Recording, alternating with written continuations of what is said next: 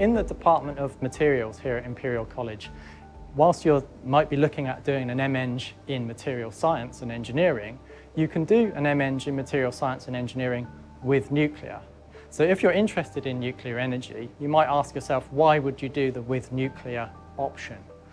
And as a materials expert, nuclear materials expert, I have over the years learnt that you can't do that in isolation. So you need to understand the nuclear reactor system to fully understand the impact that has on the materials. So in that sense, you might want to understand, for example, the physics of what's going on inside a nuclear reactor core, which is producing the particles which damage the materials. Equally, no nuclear reactor is safe unless you can extract all of the heat from the nuclear reactions.